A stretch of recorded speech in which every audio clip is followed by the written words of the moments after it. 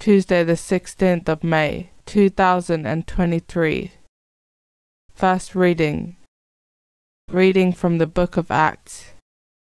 The crowd joined in and showed their hostility to Paul and Silas, so the magistrates had them stripped and ordered them to be flogged. They were given many lashes and then thrown into prison, and the jailer was told to keep a close watch on them. So, following his instructions, he threw them into the inner prison and fastened their feet in the stocks. Late that night, Paul and Silas were praying and singing God's praises while the other prisoners listened. Suddenly there was an earthquake that shook the prison to its foundations. All the doors flew open, and the chains fell from all the prisoners. When the jailer woke and saw the doors wide open, he drew his sword and was about to commit suicide presuming that the prisoners had escaped. But Paul shouted at the top of his voice, Don't do yourself any harm. We are all here. The jailer called for lights, then rushed in, threw himself trembling at the feet of Paul and Silas,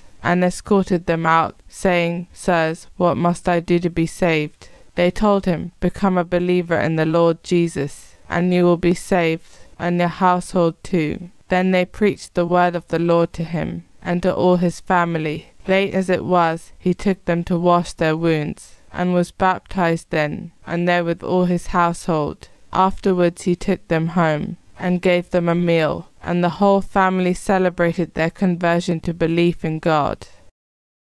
Responsorial Psalm You stretch out your hand, and save me, O Lord.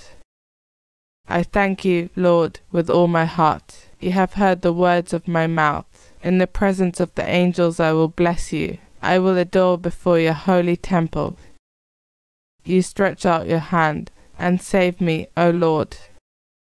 I thank you for your faithfulness and love, which excel all we ever knew of you. On the day I called, you answered. You increased the strength of my soul. You stretch out your hand and save me, O Lord. You stretch out your hand and save me. Your hand will do all things for me. Your love, O Lord, is eternal. Discard not the work of your hands. You stretch out your hand and save me, O Lord. Gospel acclamation.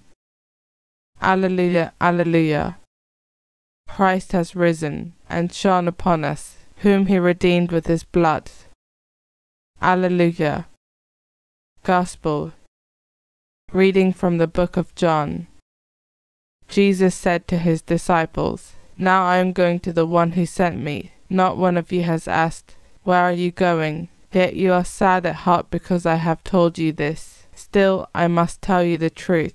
It is for your own good that I am going, because unless I go, the advocate will not come to you. But if I do go, I will send him to you, and when he comes, he will show the world how wrong it was about sin, and about who was in the right, and about judgment, about sin, proved by their refusal to believe in me, about who was in the right, proved by my going to the Father, and us seeing me no more, about judgment, proved by the prince of this world being already condemned. Gospel of the Lord.